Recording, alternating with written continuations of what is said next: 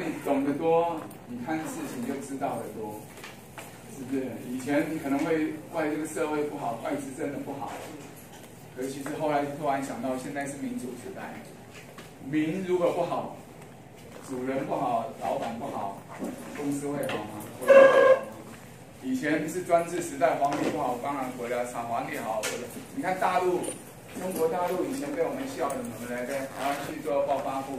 和台湾去以前演角幕的时候，大陆算什么？对不对？我们还亚洲四条，才曾几何时啊？大概才你们出生的时候吧，对不对？是不是？现在他跟美国在对干呢？凭什么？他如果是民主，绝对不行啊！你就看到菲律宾、马来西亚这种啊，最近还比较像一样。那菲律宾很早就民主了，比台湾还民主。菲律宾也曾经比台湾分，呃，只是你看现在有多少菲佬？那有些贝老是大学毕业来的，有没有？你知不知道？是不是？对呀，这就是台湾的一个捷径。那大陆会起来，不是他多优秀，他是集权。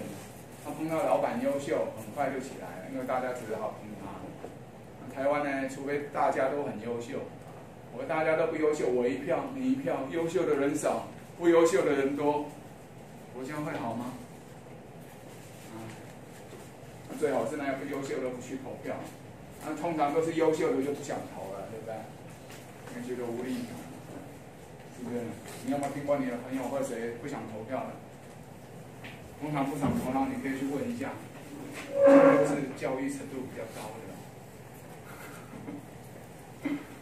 这个我们班好像没有社会系或什么系的，这些都是很有兴趣味的社会现象。我可是很少看。人家调查研究这些，为什么？因为怕得罪人民嘛。有些事实是很残酷的，可是事实决定真相啊。这你看，就好像以前是专制，是不是臣子就会扒皇帝的、抱皇帝的腿，粉饰太平嘛？民主也一样啊，怕得罪人民，是流失选票，所以有些不能讲嘛，不能研究嘛。人民的丑陋不能揭发嘛。揭发了，谁鸟你嘛？你没饭吃，就好像以前得罪了老板，得罪了皇帝，你就惨了。那现在的皇帝没有皇帝的皇帝是谁？以为是蔡总统吗？还是什么？蔡总统也是靠大家的选票，所以呢，你施舍了嘛？所以他要去拜托，拜托，给我，给我，我们赚钱，我们还不要拜托，对不对？老板不给我们薪水，我们还给他们。他是要拜托来的，跟乞丐一样，乞你的票来，那你如果给票的人程度不好，或者怎么样，像不是有时候很严重，还有贿选吗？不就更惨？像那个配分，像第一题好了，此地有从三进里画零手九，你在那个从，对不对？山甚至山，我想没有人会解释山嘛。如果在山字上面解释半天，你要拿几分？对不对？至少此地有从三进里比较可以讲的，第一个一定是领字，对不对？它没有三字头，这可以分。可是，假如这个这一题你领都不知道，我可不可以给你过关？恐怕这一题我就不能给你过关。这一题哦，不是光这一句哦，因为人家会说这个神连领都不知道，你让他过关了，哇！假如跟我有仇，拿来做文章了，对不对？懂不懂？就比方说，哎，为什么我其他都答很多？分数那么少，所以我为什么给你两个分数？一个十得分嘛。哦，假如你有一些致命伤，你都不知道这一题，我可能可只能给你五分了，你不能及格。可是你其他又答了那么多，我又怕你分数太少太难看，甚至到时候救不回来怎么办？那我再给一个泡泡啊，对不对？其他的要再加回来。可是跟你讲，你这个十得分没有圈起来的，现在成绩公布了，你们马上划手机啊。课程的那个首页，我们课程首页你可以看到你曾经有一个实得的加分的，就是这样。实得就看你到底实多少。当然你实力可能不会那么差啦，也许就是要命的地方出错。而要命的地方出错，就好像社会新闻，有些人形象很好，突然出去偷腥，对？被人家拍他叫阿基斯。犯人要命的时候，你做再多好事，好像也很难弥补嘛。是不是偷偷滑进滑滑梯了？有没听过这个故事？阿基斯的故事已经不有名了。哇，才几年？阿基斯知道是谁吗？还知道？哎，所以这个教材随时要更新。我是要跟大家讲一下，还有啊，所以要你有你的立场，我有我的为难，啊，大家都要考试的，要经得起考验，嗯，嗯。可是你如果分数拿的低，不要灰心，因为你碰到的是这个老师，严师出高徒嘛。你的五十分也许是别班八十分呐，可是不管是几分，重要是懂不懂，会不会，真懂假懂。人家拿八十分，结果领怎么讲不知道，他只知道领通领，不知道原来部首换一换就可以了。你知道就不一样了。廖立佳，一开学就跟你们讲啊，那个看。大学是讲道理、求真理的地方。嗯，还有等一下点名的时候，你会看到一个东西是什么？你名字可能会被标颜色啊，标上绿色。虽然我不是民进党的，因为我们考试我都标绿色。考试时间标绿色的，你要自己找我课后辅导，你不找我，我也会找你。嗯，可是我找你当然只是有限的。资讯啊，像有些等一下我会跟你们讲，那个用你 email 或者那个 Hangout，什么 Google 不是有一个叫 Hangout 吗？那个视频，当然我相信很少人用。主要就是哦，要用讲的，不能打字的。你 Line 也一样，微信啊 Line，对不对？陈立群。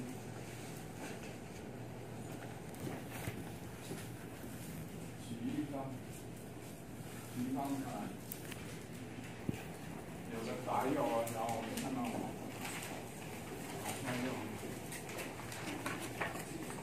所以哦，平常叫你们写十来豆，也没人要写。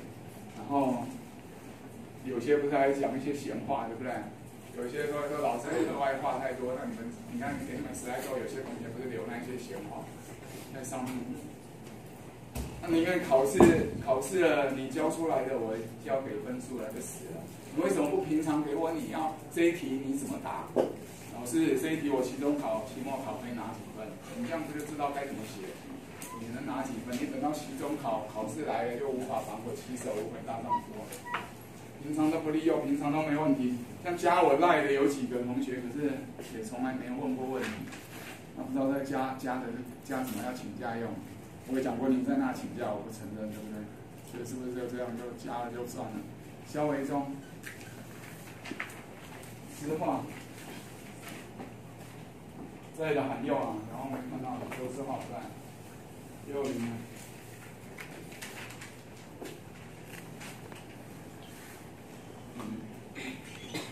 玉线对，明轩儿。所以你那个十得分一定会，然后你没有读如何想得清楚，那那也一定会死掉十分嘛。所以你可以稍微再加十分，就知道你的十得分，也许你才十得才五十，加十分就刚好及格六十，就是没有圈起来的分数。可是我算总分，当然就算圈起来了，我会选 B 的分数加一。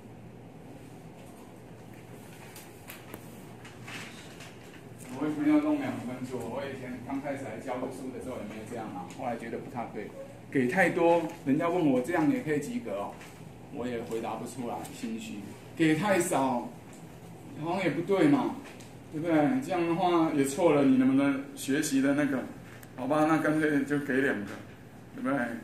多的对你们有交代，少的呢对来质问我的有交代啊。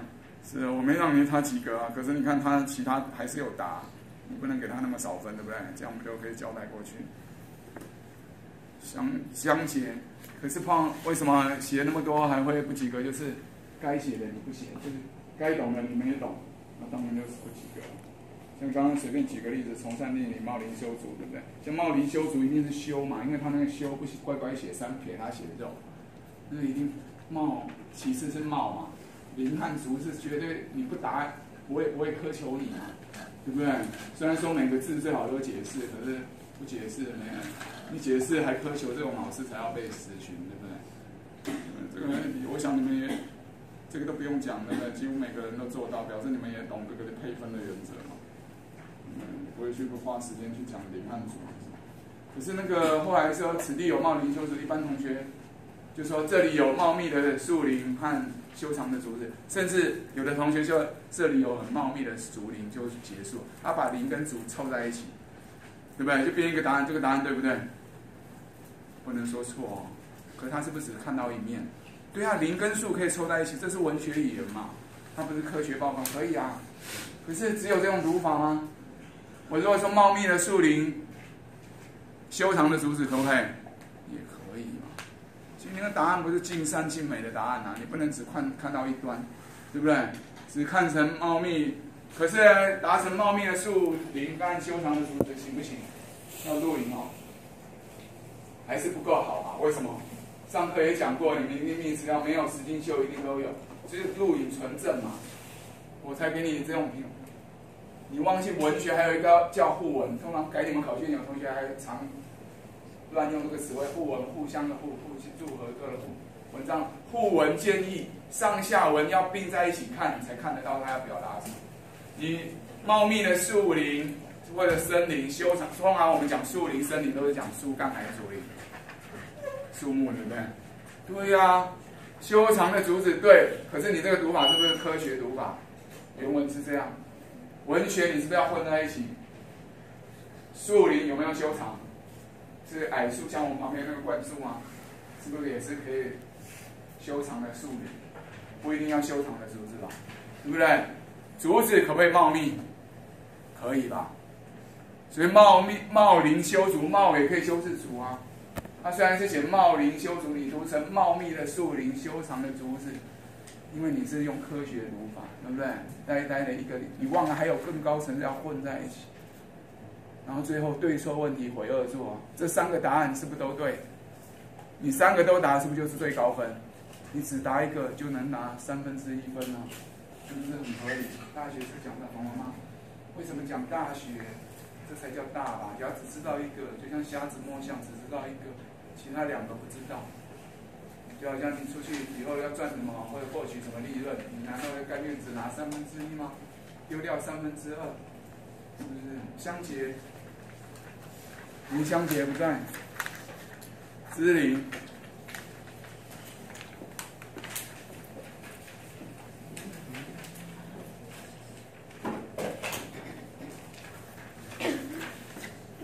还有一个最常几乎都错的，是不是别班有考？怎么答的那么差呀？我们这也没考的。像刚刚讲茂林修竹林是没有三字头换部首，你就可以讲第二题，对不对？取舍万殊，尽造不同。可见王羲之《兰亭集》是这一篇手稿的吗？写自传有给你看到他的手稿吗？他很多都写错别字嘛，该写部首的不写，像取舍把取就加了一个手。走步，对不对？走路的走，舍呢？该加提手旁，他又拿掉，写成宿舍的舍，对不对？所以茂林修竹那个崇山峻岭的岭，他也是这样。你说拿第二题，你看题目都发给你了，考试这个有现成的拿来做引用，你说你这一题要不要加分？就像写论文，你会引用一些相关的证据嘛，来证明这个读法是合理的。不是说我编一个九阳神功哦，可以乱换部首，哪可以乱换？这里可以这样读，像我们很有名的“不能预知于怀”，啊，那“玉”为什么改换成心部啊？在心里头愉快啊，愉悦啊，或者换成下面的心，不是左边竖心房？因为他这一篇好多都换部首嘛，因为这个才敢换，不是给他乱换，对不对？他这一科前科人的这一篇文章，你有理据的，不是我爱恶搞，因为你用玉比喻，像一般的翻译。我我是很少看人家参考资料，看你们答案大家都知道，可能都看网络的来哪里，不能在心中明白，课本好像也是这样写，我忘记了，不能在心中明白什么，讲得通吗？这种翻译，啊，莫为美染袭人心感自由，未尝不临文街道，看到这些他们兴起感触的原因，都会很难过。他兴起感触的原因是什么？人生有限嘛，对不对？人你再厉害也要死。所以他会难过，就像我们这个兰亭聚会也要散会啊。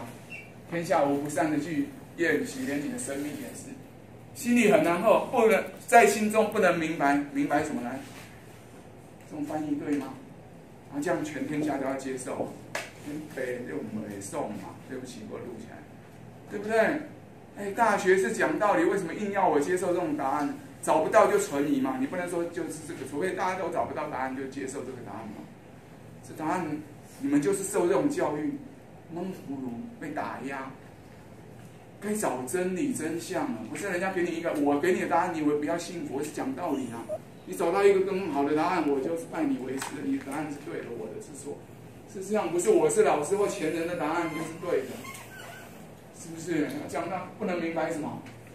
不能明白文章，你不能明白文章，你怎么知道他心情感触是什么？你当然读懂了嘛，对不对？不能明白什么？什么讲讲不通啊？或不能表达出来，表达出来原文哪里有出来？人家是预知于怀，于是在在怀里。你把它从怀里表现出来，反方向了，根本都不看原文，自己在那乱猜，因为讲不通了，自己再来，好像我心里有难过，表无法用言语形容，对不对？硬凹就在那乱斗，因为他忘记这里换一下部首不就通了吗？你看心里头不能愉快，就完全就通了。所以我们后来讲，心里头没办法得到疗愈嘛，你那不足的心情挥之不去嘛，就是完全就是这样啊。不能预知，或者不能超脱愉悦，那个知带名的带什么？超脱这个街道的心情前文那个未尝不灵文街道。我这种接伤、感叹、难过、哀悼的这个心情没办法超，没办法跳出来愉悦出来跳出来，所以它可以换成错走旁的鱼，或者竹字旁足球的鱼嘛？对，我们说你不要逾越这一条界限哦，是不是？逾越这个分际。是这样才的。你说我怎么找到答案？这方法都教给你，我也是这样读的。我也，我如果看这些参考资料，我会读出这种答案吗？我还不就大家不能在心中明白，就这样教你们。你看有多少不负责任老师就这样教你们？你看你们自己都说以前读过《兰亭集》，怎么还会考成这样呢？我敢给你这个分数，就经得起钱。我刚刚才讲嘛，不是我给的就算了。你们那么乖，你可以去抗议啊！在我下每一分，我要想人家来质疑我的时候。我要怎么讲得出来？对不对？对呀，是不是要经得起考验？不是偷鸡摸狗啊，得过且过，早晚会变康，对不对？那就是为什么阳光法案可贵，就这样，就喜欢黑幕、红中秋案，是不是？那人家不知道，我反正你是我学生，我要怎么整理就怎么整理，对不对？我们才不干那种事，我们是光明正大，我们永远想到哪一天有人来质问我，我要怎么经得起？我今天早上在睡觉的时候。听到外面家里今天多讲点闲话，这个是闲话，刚刚那个不是啊。我今天会讲一些闲话，闲话不是真闲话，因为我们接下来不是上上海行吗？你要知道怎么去品味读人生，为什么学佛要读生活？今天要在上课行的时候，听到外面有猫在叫，很久了，我发现很久了。以前猫都在外面打架，有没有听过那个声音？我本来以为是人在叫，就不是，听原来是两只猫在叫。我就在那祈祷，因为我学佛，你们知道，我就说：哎呀，猫菩萨，不要叫啊！你叫了，你要小心，因为他们在干掉的时候一定两个对峙嘛，不会想别的。你在干掉，你要小心，因为我还在睡觉，一定也有人在睡觉。只要有人讨厌猫的，他听到了，哪一天就把你抓起来，或叫捕猫队来找你，对不对？是不是？所以我这样劝他们呢，他们才会听啊。当然我是心里劝，可是这这一个故事让我领悟到什么？就这样就算了。人生要去赌。当你在跟人家干掉，你有没有想到上面天上有什么神在看你？今天猫在干掉的时候，他都没想到，他上面有更有能力的人在看他。你弄到我不爽，你就吵，你插上，把你整，对不对？那你今天，哎呦，我人过得很爽，人外有人，万一有呢？我们不要讲迷信，万一呢？就像那个猫在吵的时候，它绝对没有想到有一个讨厌猫的知道它就惨了，对不对？或者不讨厌的还有猫外的世界嘛？它两个在干掉的时候，它会想到人吗？同样人在干掉，像选战干过，谁在抹黑怎么样？或者两两军两个国家在比厮杀的时候，他也想到人外的世界可能有一个更高级的东西在管他。有一篇有一个畅销书，不知道现在还畅销，叫《苏菲的故事》，有没有听过？一个哲学的科普的书，讲西洋哲学史的，他是用一种小说形式写的。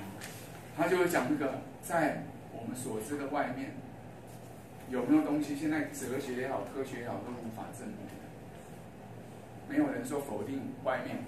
我们读这一篇《兰亭集序》，它也是探讨这个问题：在死亡界限的后面是什么？谁看得到？今天上山就是刚刚上来之前，我刚好看到有一个人停车在那看台北盆地嘛。我也领悟到一点啊，哇，今天视野不错，对不对？有时候云雾比较大或者烟霾，台北市就看不远。今天可以看很远，林口台地那也蛮清楚。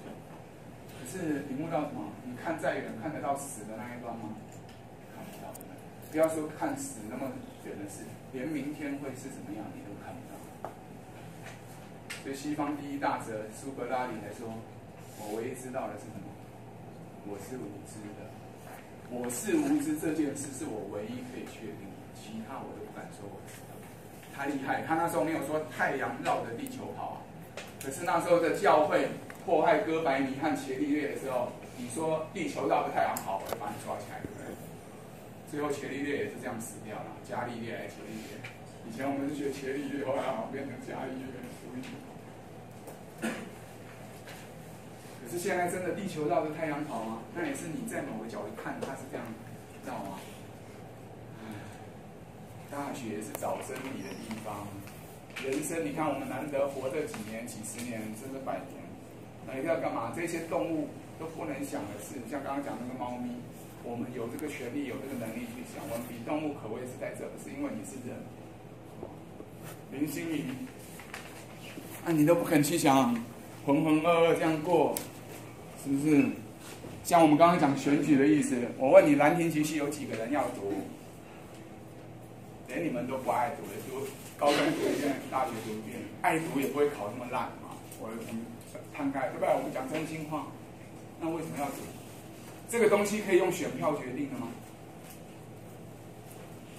叫全台湾，像最近不是公投啊？要不要废除兰亭集序？我相信盖掉的一定很多。这种人公投吗？懂我意思吗？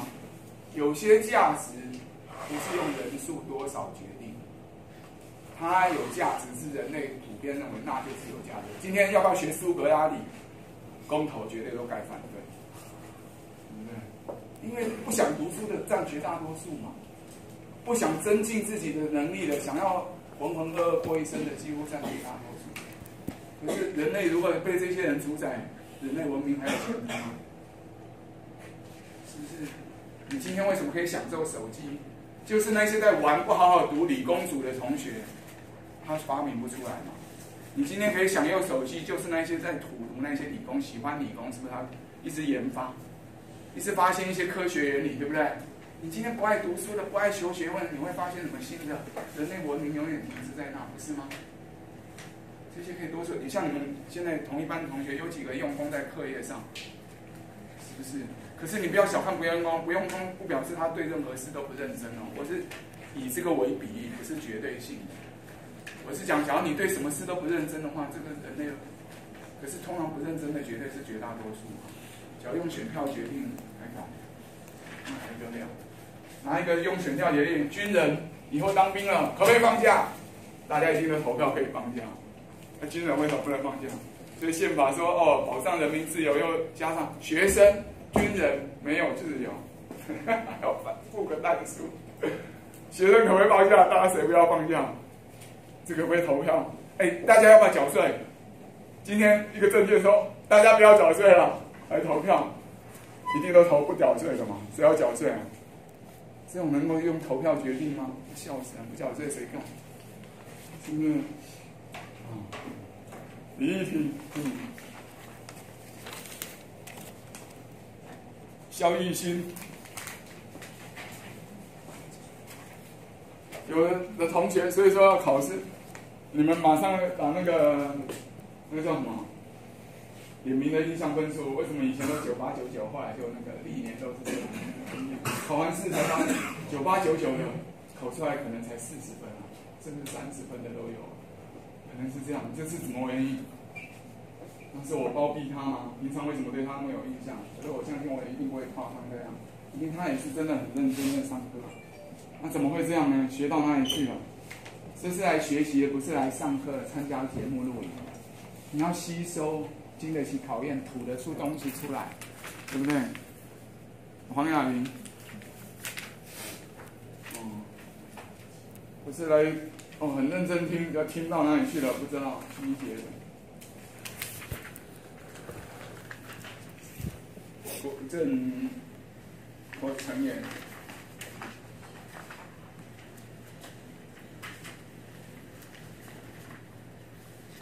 黄心莹。对不对？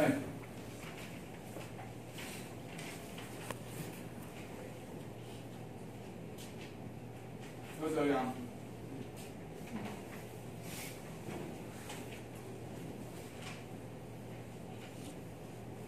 陈彦军，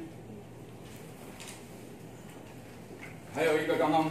没说的是怎样？你也许写很多，可是很多可能是我上课或者实境秀都讲烂了，那是我的，不是你的。像我为什么叫你们要解释、要翻译？你们以前学都只背翻译，所以我现在特别强调解释。可是有的同学解释了又不翻译了，可是有的同学解释翻译之后才发现，他翻出来的根本跟他那解的不是通嘛，或者他解释好像看起来都很厉害，他都背了，翻出来的就不对，表示都不是真懂。重要是真守真守真，要真的混不过去的，对不对？你翻不出来，只会背那些字哦，好像写了很多。我知道茂林修竹是修，那有的同学写什么？今天老师如果上课跟你讲茂林修竹修，旁边写一个修行，或者选修必修，你看得懂这个是什么是不是？那你怎么可以写这个答案给我呢？你当然要讲这是选修必修的修嘛，选修必修就是我去做某件事叫读书，读书也是做一件事情啊。就它是选修必修的修，你不能去光写个选修必修，带回茂林修的读得通吗？茂林不是不是，那个是修系视野的修啊，选修必修系啊，这什么意思？什么叫还有选修的必修的？那讲清楚嘛，不能这样，这样都是哦，看的是你有读书死背，那你为什么会这样呢？就是混嘛，你根本好像这一篇文就像刚刚讲的，大家投票要不要读兰亭集序？我没兴趣，不喜欢。你根本也不想管他到底讲什么，不想管他们是你家的事啊。可是我要把关的是，你要真懂他讲什么，我才能给你高分过过关，是不是？对啊，你不想懂，很抱歉，那你改体制嘛，以后国文课废除或怎样，对不对？这就回到刚刚的问题，叫公投一定大家还到大学了还上国文干嘛？这些东西是不能公投的，是不是？好啊，五坡大我。我是没差，当然国文老师可能有国文老师的利益，他怕失业，我是没差。可是换一个，其实如果国文老师都不怕失业，国家敢承受到大学不接受国文教学教育的那个后果吗？不知道。哦，人家政策，他考量是考量这个，不是你以喜好考量，什么都喜好来决定的话，哇，是不是？大家不要读书，天天玩，对不对？干嘛来上学？我想。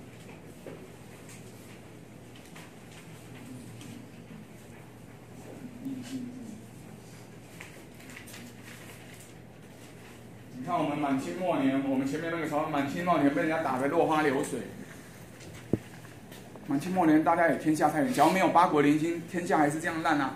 我们清朝是最好一个朝代，怎么说？你看前面那个朝代有一些，其实明朝也还好。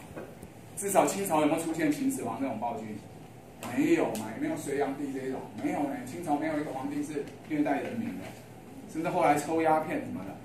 那只要没有八国联军来打，大家糜烂过日子不就好了吗？可是被人家打，被人家欺负，才发现是不是要用功了？人类的现实就是这样，否则大家何必来读书呢？就是碰到读书的，哇，不读书了被欺负了，知道被奴隶才知道读书的重要嘛？是这样。不是读书人说读书好，是谁爱读书？大家谁不爱玩？因为老师爱读书，你们谁老师谁不是学生来的？千万，有人没有考期中考来问，或者没有写自传，我们都不是一试定江山的，你其他都能补，只有一个不能补，期末考，因为期末考占百分之四十，你没有零分，四十趴零分，你是决定不可能及格，你及格我就有悔了。对不对？因为这个是明定，早就跟你期末考，期末考你不来是铁定就不行，其他都可以补的，是不是？不改进。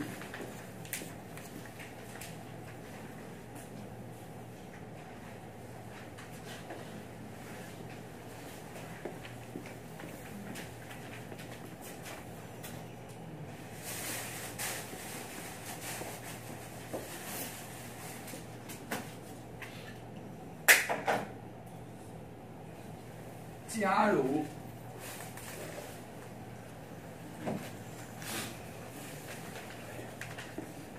玉君，浩群，浩群在。好，一开始我要跟你介绍过了。我们平常像你看，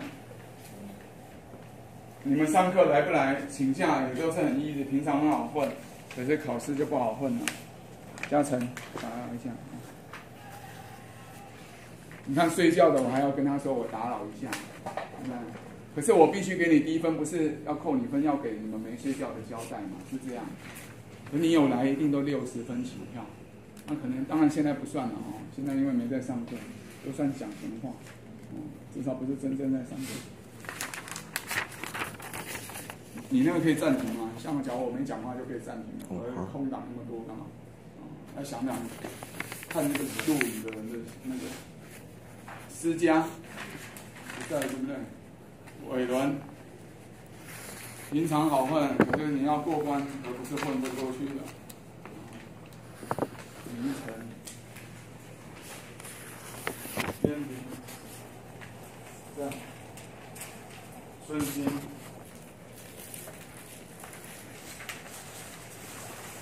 这一次选举，我后来看了一下那个公报，所以刚刚我为什么要补上那些？不要人家不用功就瞧不起人家，不是哦。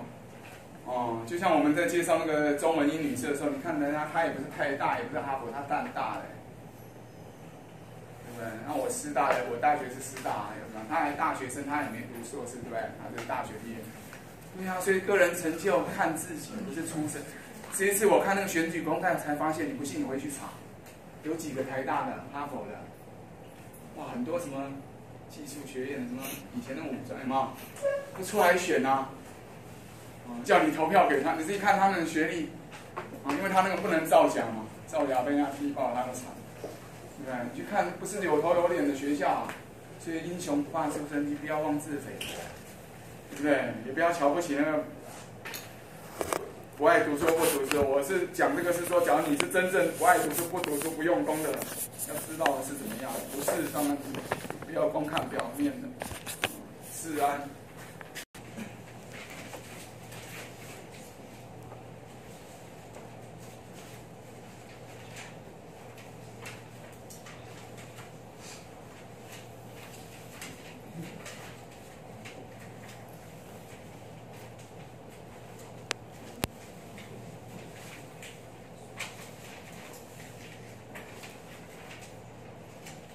生命的流金女，是不是？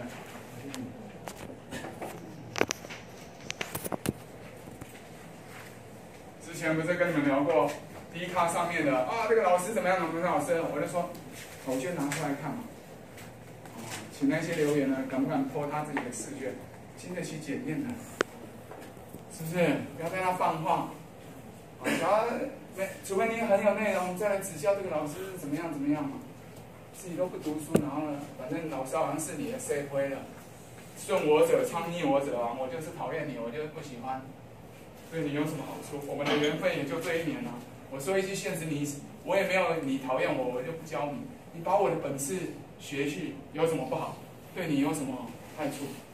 是不是？即使你讨厌我，对我教你的是怎么把你国文能力把它提升起来，真的看得懂吗？是，怎么看这一台不听话？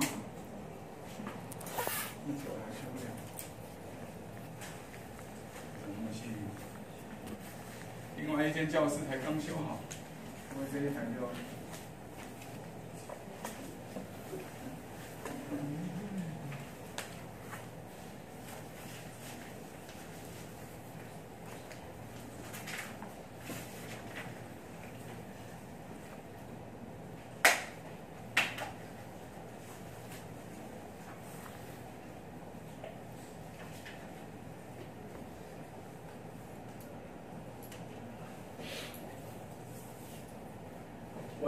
三角形的，就表示改错了，给你还原哦。然后写个方框里头有数字的，那表示九阳神功第几招，对不对？你有没有想到？像有时候你想到一些答案，你有没有想到带回二做？别忘了终极招啊！带回去上下文讲得通吗？讲得通，你要解释一下，你不能丢个答案给我，让我自己去想啊，是不是，你看题目就跟你讲，要好像老师上课教学的样子嘛，如上课教学的。你看我这里也用文言文，因为太那么窄，我能写几个字？这才说如上课教学然，这个然不就是你们课文里头有的什么快然是主的然，快乐的样子，对不对？叫快然嘛。所以然就得样子，我就会用了哦。所以我这说好像上课教学的样子，那这里不能打的样子三个字，我就用个然字啊，这不就打进来？学了要用，我也是这样。因为我学蓝题是这样，没人叫你要读中文系或者做王羲之，学的是用你的语文，多一些语文，一些字可以用。以后谁知道什么时候要用得上？对呀，我要你假如不知道这个以后然的样子三个字打不下怎么办？你就可以想到，哎，用一个然可以表达，对不对？自然的然。那有人还是把这个自然解释成自然，当然错嘛，是是自然自然。如果然是自然的话，你们可以说讲的然有自然的意思吗？没有啊，然怎么可以解释成自然？哦，自然的意思是什么意思？自己那个样子就叫自然，对不对？别人没有干涉，对不对？所以他那个然还是这个样子，自己是怎样就是怎样，别人不会影响。所以这叫这叫自然。像女孩子爱美，人工美女是不是就是人工去动手术？啊，自己生来就是那样，是不是就叫自然？对啊，所以那个然还是有样子的意思嘛，就是那个样子。所以然当然不是自然啊，你不要说很快乐、很自然，对不对？这就是考你什么？你自然这个词你没有弄懂，所以这里你看到的反正单字、想助词你就很自然。哦，你没搞清楚自然自是自然自然，那个然还是得样子，跟这里然是一样。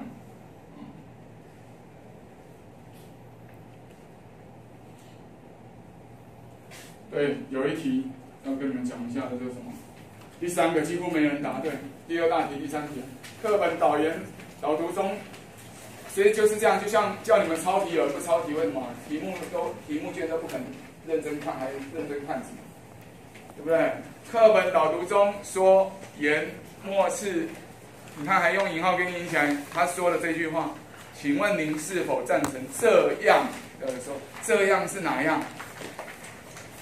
代名词，生活的，然后为什么这样是哪样？我是问你，死生为一同同伤同受吗？那外面框的那个单引号末世为望说这个是干嘛？公行孙呢？那我前面讲说课本导读说，这个导课本导读这四个字是什么？也是说心酸的吗？代名词要找对对象，你怎么回答我说死生为一？我不赞成。我是问你课本导读这样讲，他这样的说法你赞不赞？他说。他说这句话什么意思？顺便考你有没有读导读啊？他说兰亭其实后面是反对排斥庄子这种说法。导读这句话你觉得怎么样？对不对？这上课有时间就录给你们，也跟你讲了，课本这样说法，表面上看是对，实际上呢，王羲之真的排斥吗？王羲之自己是不是就做到了死生为一了？你看你现在还得读他的文章，不想读不想考还得考，他是不是好像活了？阴魂不散，他比活的还有 power，是不是？你活的谁鸟你啊？这死生不但唯一，还翻转了呢。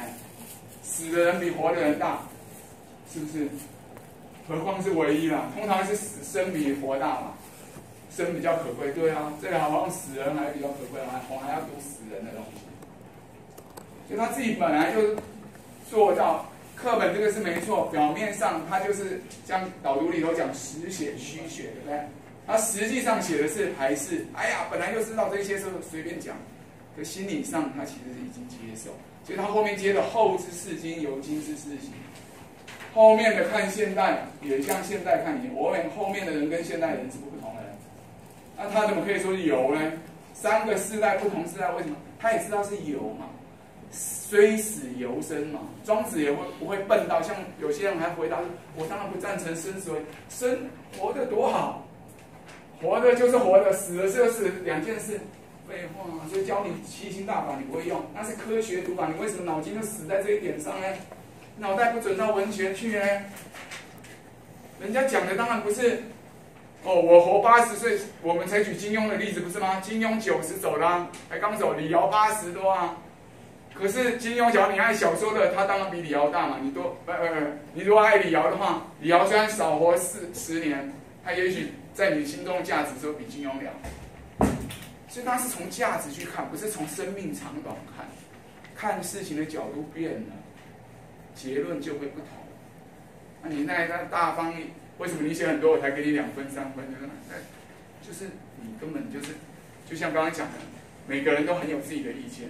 可是，在发表意见前，你就不去想我的意见是很幼稚的，想得很周全的，还是怎样？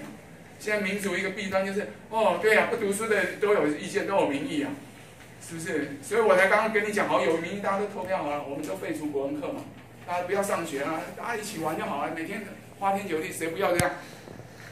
谁觉得上班上课好啊？人类生活可以这样过吗？这可以用选票决定吗？谁敢？我愿意啊，还敢啊？谁敢付得起这个很后果？所以有些事情看不同角度，这个是有些事情要用选票决定，有些不行，不是放诸四海都是。就像你刚才讲的，对生是生死是，然后好像放诸四海皆准，可是换个角度，也许就不是这样了。庄子当然是换个角度去讲，所以王羲之也是换个角度，他就说：虽然我死了，可是后面的人看我是好像我现在看天妹。所以。以前人虽然死，他跨越不了死亡界限，可他留下的作品让我看，我看到他就好像他活了。他在文章里头没有写，可读得出他这个味味道。他最后不是说后之然者读我的文章，亦将有感于斯文吗？他希不希望他的文章也流传？他做到了没？You make it。这要写在文章里吗？这叫虚写。对，而你脑袋永远在停留在科学语言，当然就，我认为课本讲这样是对的，就没有别的答案了。我没有否定课本这样错，对不对？是不同层次、不同角度，脑袋不要死在一点上，变成一个脑袋很简单。叫你们读如何想得清而不肯读下学期语言与人生，宁愿做头脑简单、四肢发达或者脑袋很顽固、死脑筋的。大家都这样，台湾会有什么未来？我不知道。真爱的每天喊爱台湾。大家都做懒惰，大家爱懒惰，每天花天酒地嘛，干嘛那么辛苦，那么上进干什么？对不对？谁不希望沉迷那个沉沦，轻轻松松、自自在在？干嘛？你像你现在不喜欢读书，以前被爸爸妈妈逼，以后有孩子你还不逼他？为什么要陷入这种轮回？要找出做这件事的价值和意义嘛？不是变成那种被动的，或者人家讲你才做。哦，那个出来。一，好，我等一下上课过一半再点名好，哦，那先休息吧。